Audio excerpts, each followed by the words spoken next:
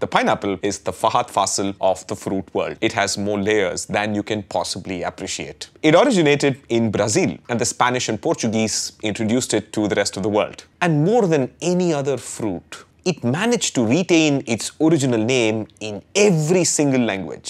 Nanas in the original Tupi, a native Brazilian language, ananas in Spanish, ananas in Hindi, anasi in Tamil, except of course English. Where they went, looks like a pine, tastes like an apple, so pineapple. But the fruit itself is astonishing. Every pineapple you eat takes two years to grow. And when you take that long and cannot move, you build defenses. The pineapple's defense budget is insane. Want to eat me from the top? How about razor sharp serrated leaves that will rip your mouth apart? Want to get at my main body? How about spiky rough skin? And if you still manage to get through, how about microscopic needles of calcium oxalate that will cause micro cuts inside your mouth, giving you that tingling burning sensation? And if you still continue, how about bromelain, a protease enzyme, which is biology speak for flesh-eating juice that will literally start digesting the flesh inside your mouth, which is why the pineapple is also used as a meat tenderizer.